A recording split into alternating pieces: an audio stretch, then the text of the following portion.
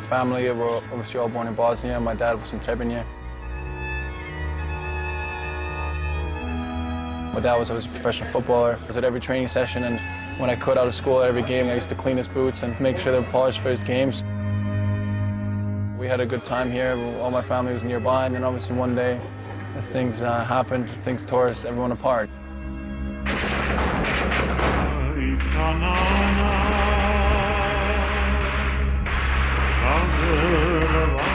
Obviously, the country's been through so much turmoil. I don't think there's a story out there that can compare to it.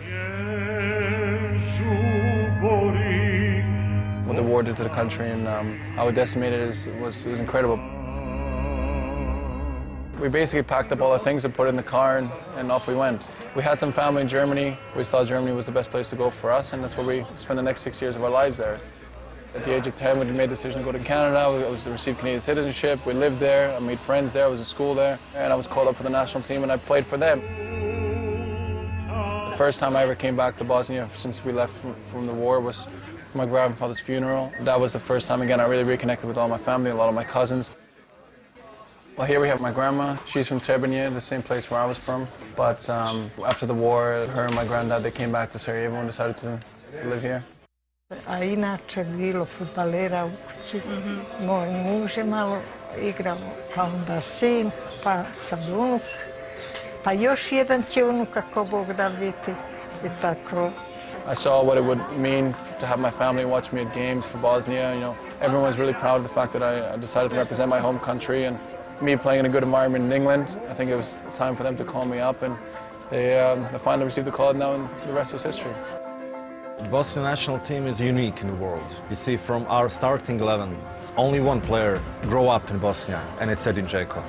All 10 others, some of them was born outside of Bosnia, and others fled from Bosnia when they were kids. A few of our jerseys on sale there, so if you want to buy one of my jerseys, just that's where you want to go.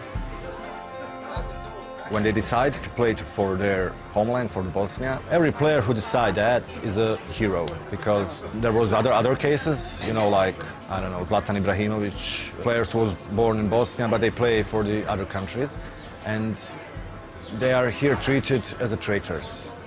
Yeah, that's the exact word, traitors. Others, like Begovic, did not forget where they come from, that they are Bosnians and they should, yeah, play for Bosnia. This is our first ever World Cup and the mood, it's one word, euphoric. And this is the, probably the best thing, thing that ever happened to this country. The country's been excited since the day we qualified, so it's um, the mood's been great. I mean, the support I received from the local people is fantastic.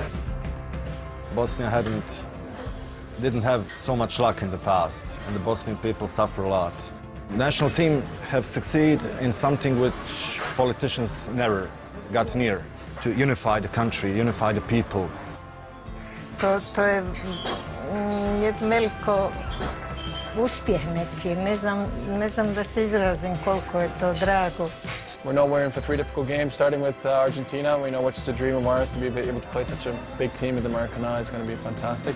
You get goosebumps thinking about those kind of things. I mean, that's what you dream of as a kid. Uh, you work so hard for your whole career to be able to live those kind of moments and play in those kind of games.